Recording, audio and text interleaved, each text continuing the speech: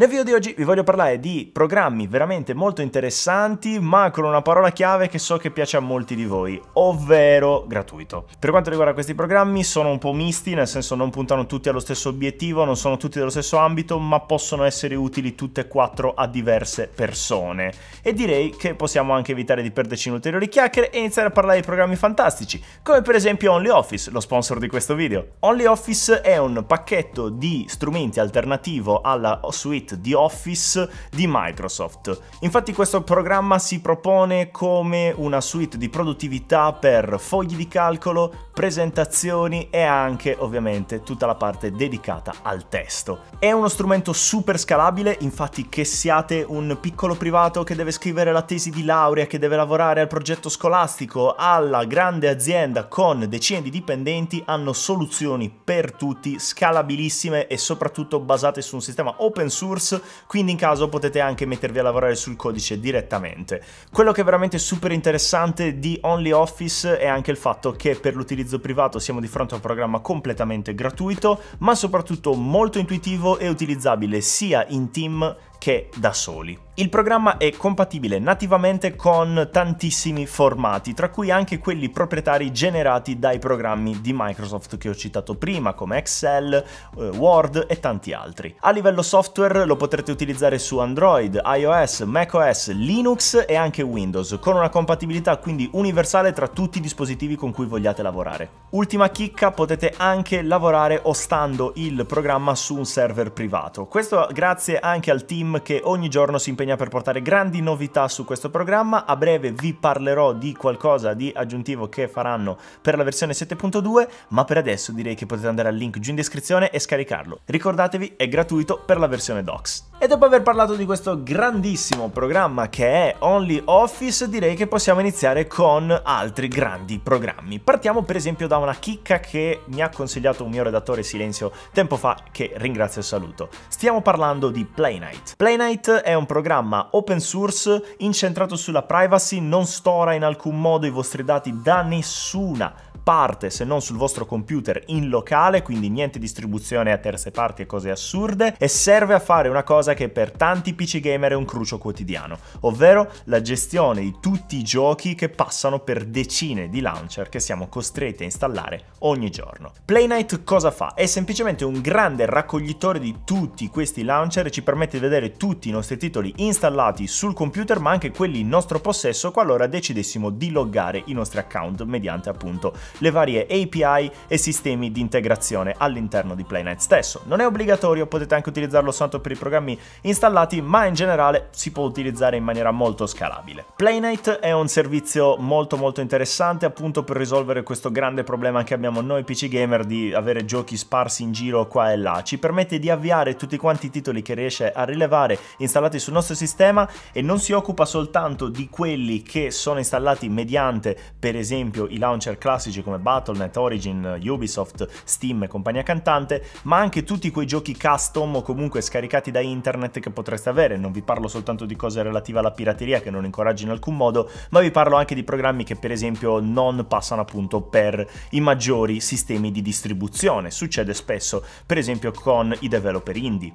Io lo utilizzo perché avendo Xbox Game Pass, Battle.net, Steam, Origin e tutto questo tipo di programmi, insomma, inizia a essere difficoltoso dover andare ogni volta ad aprirne uno singolarmente, quando invece posso aprire Playnite e ho già lì tutti quanti i miei giochi insieme, belli, pronti e facili. Posso anche disinstallarli direttamente da lì, ovviamente ragazzi questa cosa non sostituisce in toto i nostri launcher, in ogni caso dovremo purtroppo installarli appunto per dare accesso a Playnite o comunque anche senza darglielo semplicemente per eh, installare i titoli. Non è un launcher alternativo completo, però è uno strumento che secondo me è molto utile per l'organizzazione, soprattutto se magari avete già 10-20 giochi installati sul vostro computer. Per il secondo programma vi voglio raccontare prima un aneddoto che riguarda questo programma. Se seguite un pochettino di politica, social e cose così, probabilmente nel 2016 vi ricorderete che la politica americana Hillary Clinton è stata vittima di uno scandalo riguardo alcune mail, non metto voce sul contenuto delle delle mail, insomma,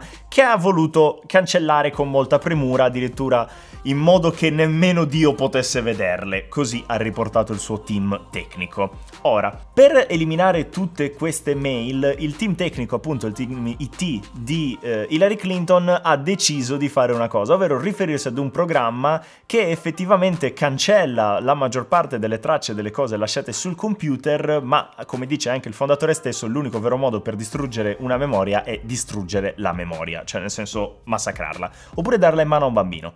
Ah, c'è anche questa opzione sul sito. Ce l'hanno quei bambini?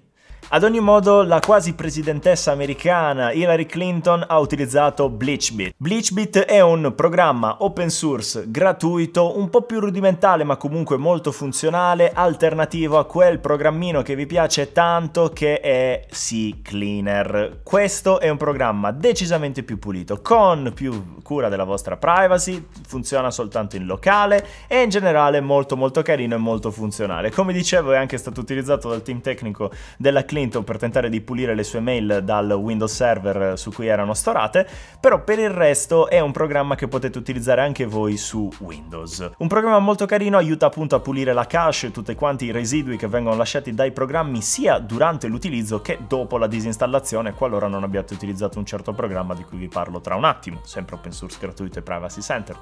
Comunque ad ogni modo, per quanto riguarda BleachBit fa esattamente quello che fa CCleaner, pulire tutto quello che c'è sul computer, però facendolo ragazzi rispettando la vostra privacy e soprattutto rispettando il vostro computer, senza possibilmente inviare dati a server a caso che poi li eh, profilano in maniera anonima e li vendono in giro. Onestamente non mi piacciono queste cose, quindi vi do un'alternativa valida e concreta, il più possibile. Ovviamente ragazzi siamo sempre su Windows, cioè mm, siamo su Windows. Windows. Windows. In poche parole è il pulitore bello e comodo per per esempio lavori in cui vi serva di eliminare la cache di un programma in maniera completa e sicura, potete selezionare diverse opzioni come per esempio differenziare se volete eliminare o no eh, la cache, le password, i cookies, cose così dai vostri browser, riesce ad analizzare ogni singolo programma e dividere tutte quante le parti che appunto possono essere cancellate da BleachBit senza ovviamente eh, dare problemi al programma, senza ovviamente cancellare parti essenziali, qui si parla soltanto di cose residue ed extra che appunto possano essere eliminate senza eh, ledere al funzionamento esatto del programma. E in generale BleachBit raga vi lascio il link giù in descrizione molto carino potete utilizzarlo. E adesso arriviamo al terzo residui vi ho detto prima lasciati da programmi installati. Un po' di tempo fa vi ho parlato di Revo Uninstaller e in qualche altro video ho accennato Geek Uninstaller entrambi programmi molto interessanti.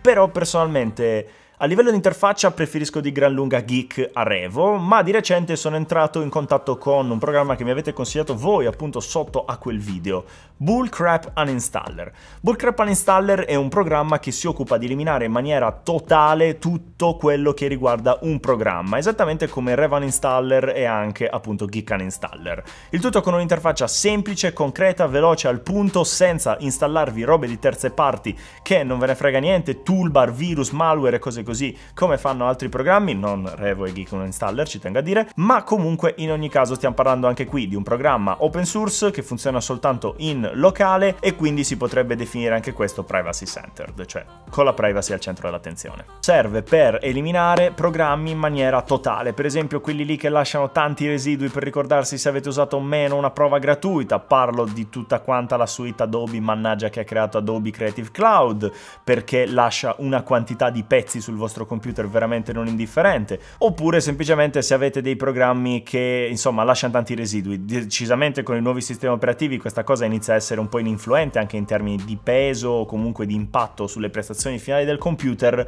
ma per il resto può essere una soluzione che magari può tornare pratica per molti. Infine ragazzi arriviamo al quarto programma che fa una cosa molto semplice, fa una cosa veramente semplicissima che in realtà Windows fa ma in maniera meno elaborata. Sto parlando di Lightbulb. Lightbulb Lightbulb, Lightbulb, mm, insomma lampadina, lo chiamerò lampadina per semplicità. Lampadina è un programma molto molto molto semplice che fa una cosa semplicissima, regolare l'intensità della luce blu emessa dal monitor nel corso della giornata. Ora voi mi direte, ma lo fa già Windows? In realtà lo fa in un'altra maniera. Voi a Windows potete dire, in base alla vostra geolocalizzazione, più o meno quando sarà il tramonto e quando sarà l'alba e lui, in un orario esatto, in un minuto specifico, appena partirà quel minuto, lui lui andrà a impostare appunto tutto quanto il profilo contro la luce blu. Come funziona invece lampadina? Semplicemente prende di riferimento la vostra zona geografica, li potete mettere anche una roba generica, non specifica, cioè se abitate, non lo so, a Gallarate, gli mettete Milano e non cambia niente. Comunque ad ogni modo, dalla vostra posizione geografica approssimativa, non dovete mettergli dati concreti, potete anche non mettere la posizione geografica, ad ogni modo calcola quando sarà il tramonto e quando sarà l'alba e non va a utilizzare un minuto come il secondo in cui inserire la, eh, l'antiluce blu, la luce notturna insomma, come per esempio fa anche FLAX o appunto Windows stessa, ma fa una cosa progressiva andando a inserire questo profilo fino alla totale accensione al 100% della copertura del filtro antiluce blu semplicemente in maniera progressiva, andando quindi anche a non essere troppo invasiva istantaneamente, dandovi quel uh, subito tutto in faccia di, di, luce gialla, brutta e cose così. No, vi fa adattare gli occhi e vi permette pian piano di apprezzarla in maniera meno aggressiva, molto più moderata. Si autoimposta, potete anche dirgli se ridurre un po' la luminosità e cose del genere, però in generale è un programmino semplice ma molto utile a mio dire. Ad ogni modo, questi erano 4 più 1 programmi per quanto riguarda l'ambito open source, privacy, cose utili per Windows. Spero vi sia piaciuto, vi invito a lasciare i vostri programmi preferiti giù nei commenti per farmi sapere se magari non c'è qualcosina di cui possa parlare in un nuovo episodio. Noi ci vediamo al prossimo video, voi state su More Than Tech, salusa!